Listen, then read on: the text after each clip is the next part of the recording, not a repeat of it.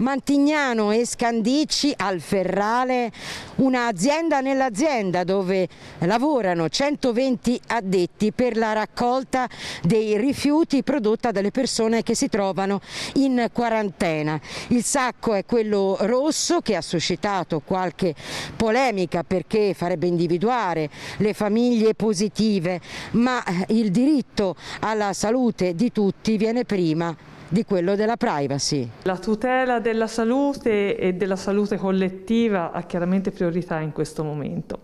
L'ordinanza regionale è un'ordinanza volta a tenere separati i rifiuti prodotti appunto dai quarantenati con dei servizi dedicati in tutta la loro filiera, cioè fino alla, dalla produzione fino all'allontanamento finale.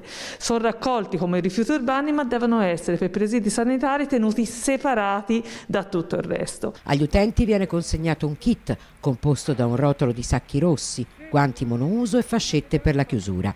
I rifiuti non devono essere differenziati ma gettati in un unico sacco. Il ritiro viene fatto in giorni diversi a seconda dei comuni, solo durante la notte. Basterà esporre i sacchi rossi alle 22 del giorno della raccolta. Questo ha fatto sì la necessità nel momento in cui appunto vengono esposti su strada che dovevano avere un riconoscimento rispetto alle altre esposizioni, quindi colori diversi da quelle delle raccolte differenziate. Le raccolte differenziate abbiamo i gialli, il verde, l'azzurro, i marroni, il nero, il rosa per i pannolini, quindi diciamo abbiamo già una vastità di colori, era necessario prendere un altro colore.